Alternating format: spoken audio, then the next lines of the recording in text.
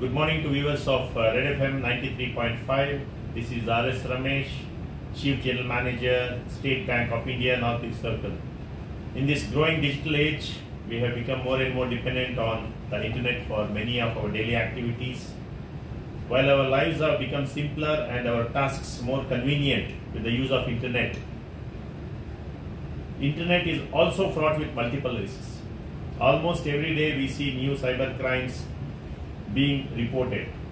However, when we speak of money related matters, the stakes are very high both for the customers as well as for the banking institution. The fraudsters employ various tactics like vishing, phishing, smishing, etc. to scam, dupe the customer user of his hard earned money. It's a proven fact that if we are aware about the various types of cyber crime, we can safeguard ourselves and stay safe and secure. We at State Bank of India are committed to keep your money and banking transactions safe and protected from cyber threats. I am glad to share a few tips on how to say stay safe, secure and protect your money and your banking transactions from cyber threats and online frauds. Vishing is a type of social engineering attack where the fraudster convinces the user to provide critical information over phone.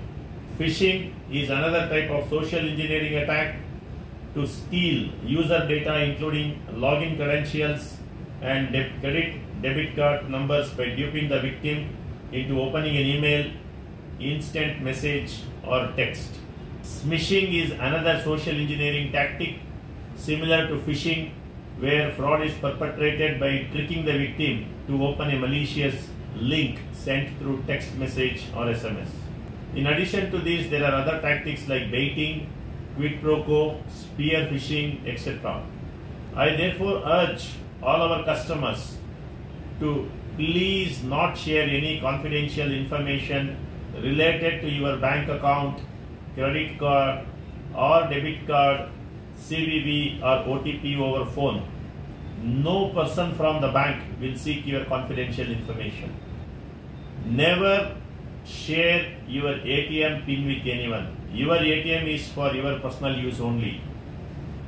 Please never click any unknown links for KYC, that is know your customer, or account or mobile update, etc. Never download any app as instructed by unknown persons on your mobile device or computer. Please download apps from authorized places only like Play Store or App Store, not by clicking unknown links. Please make your near and dear ones aware of these two. Thank you.